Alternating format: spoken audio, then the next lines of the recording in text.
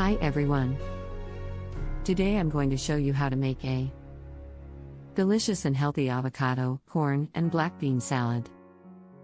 To start, you'll need 2 avocados, diced, 2 ears of fresh corn, cooked and kernels removed, 1 15 ounce can of black beans, drained and rinsed, half red onion, diced, 1 quarter cup fresh cilantro, chopped.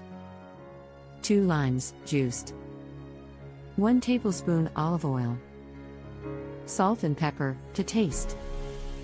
Now, let's get started. First, in a large bowl, combine the avocados, corn, black beans, red onion, and cilantro.